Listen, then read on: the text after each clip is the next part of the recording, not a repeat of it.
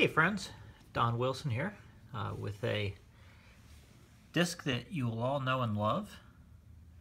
Uh, gas shell bombardment, the only recording made during World War One. But um, uh, this was produced for quite some time and um, you know, it's just like buses, as they say, that uh, you can wait forever and not find one, and then all of a sudden two show up at the same time.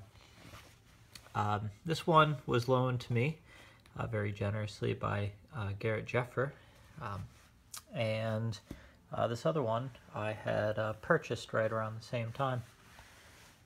But this is a unique opportunity to get to look at two, uh, one which is uh, clearly very old, and well, they're both very old, but one is much older than the other. And um, I want to show you a few of those details. Um, if we take a look at this one, for example, we can notice a few things that stand right out. Uh, those really bright colors in the label. The wording at the top, historical record. See British record catalog. And then down at the bottom, it specifies uh, 78 RPM. Now through the 78 RPM uh, era, it was pretty common for HMV to say either 78 or 80 RPM. Uh, but the early discs, I don't believe specify that. Uh, hopefully someone will correct me if I'm wrong. But the earlier ones, I think that it was just assumed that they were 78 RPM. And, um, you know, people aren't going to know if it's a couple RPMs off anyway. So if we look at this label, uh, we can see that um, the artwork would suggest that this is a much older label, uh, says nothing about it being a historical record, and it just says that this is the actual recording, etc., etc., and uh, again, no mention of the speed.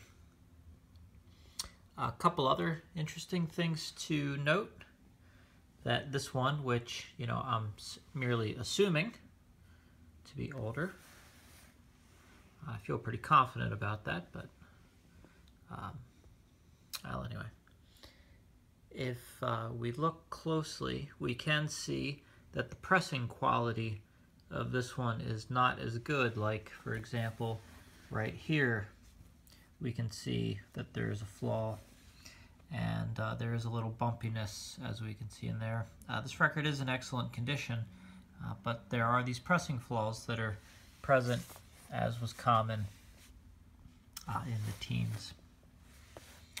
Uh, other thing to notice, uh, if we take a look at this lead out groove, that's just outside of the rest of the grooves.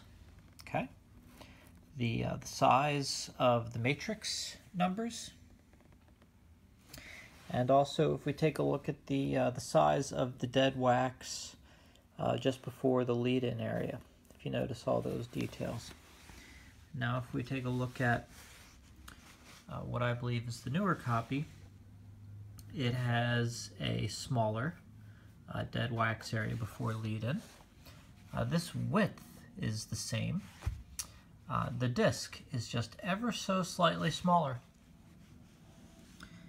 And uh, most prominent that this uh, that lead out area that we saw has really expertly been filled. Look at that. I mean, you can just see that just outside of the, uh, the grooves for the playing area.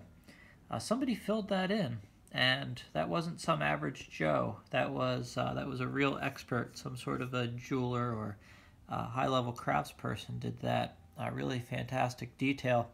And instead it was replaced with um, eccentric uh, lead-out grooves as you can see. Matrix numbers are much smaller. They look uh, a little bit nicer. And then the final detail that I'd like to point out is that if we take a look at the back,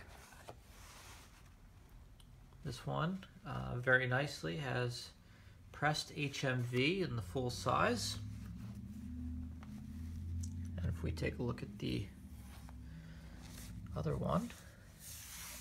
What do we see here? We see the 7-inch uh, recording angel that was even on some uh, late Berliners, I believe. So, um, the virtue of the fact that they were using the uh, the seven inch recording angel, uh, I'm quite confident that this is a much older pressing. Oh, there is one final detail, and uh, that is the weight. Uh, not something that I can really easily show you, and I'm not sure that there's much of a visible difference in thickness. Uh, so this um, newer pressing uh, weighs in at about 300 grams, and I don't know if you can see it. It is, um, well, could be my imagination, but uh, appears slightly thicker. Uh, imagination aside, this one uh, definitively weighs approximately 480 grams. Uh, that is significantly heavier. Again, that was 300 grams for this guy, uh, 300 grams for this guy, and 480 for this one. So um, two thirds heavier. Uh, they are both identical recordings. Uh, I played them both, and uh, both in terms of fidelity. Uh, you know, I don't believe that there was any enhancements made to the recording or any changes to the actual uh, grooves themselves, nor have I put it under microscope to see if the waveforms are identical, but I'm reasonably confident that they are the same recordings. Uh, just some minor changes in the pressings, and if you're looking for a newer versus older or older versus newer, uh, those are the details I have for you, and thank you very much for watching.